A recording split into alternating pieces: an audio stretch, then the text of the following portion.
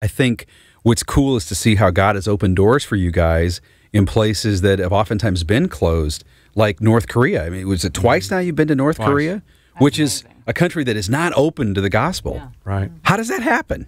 It, it, it was so crazy. There's like only one NGO, non governmental organization still allowed there. Uh, most of, of the, the Red Cross and stuff, for some reason, they'll just decide not to let them in anymore. And there's one called Global Resource Services who's still going and doing food distribution, helping with their arts, helping with their uh, their their agriculture, and then the hospitals. Yeah. So that's the, that's all it is, just going and helping. And they have a festival there every two years, uh, honoring their leader, and they will have music musicians, artists, I mean, all kinds of Germany, dancers Italy. come in. Oh, really? for Dennis Rodman? week-long. So, I wasn't going to say it, but yes. Glad to know that that is the connection now. He, to he's our an country athlete. Yeah. great conversations going on, I'm sure. But uh, anywho, uh, so they have this festival, and the leader of uh, Global Resource Services has thought, man, what if we started connecting through the arts? Could be a good connector. Yeah.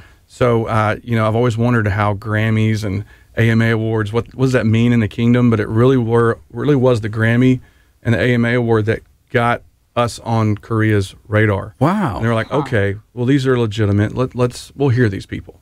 And um, and we went over and we got to perform three or four times. Man. we sang "Who Am I?" Voice yeah, of that's Truth. the thing. You were able to be Life open songs. with the gospel. to West. Wow. Amazing. And That is Amazing Grace. amazing.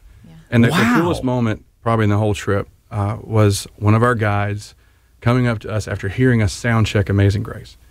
And he says, You know, my wife plays this song on the piano, and she's Hmm. played it since she was a child, but we never knew there were words. Wow. So we write the words down, and he's learning it with us with this little sheet of paper as we're singing every night off the side of the stage. He's learning this song, and uh, you know, you, you- you're careful with what you can say. You can answer Yeah. questions, but Yeah. That was one of those moments where okay, that was worth the trip over here. Yeah. Yeah.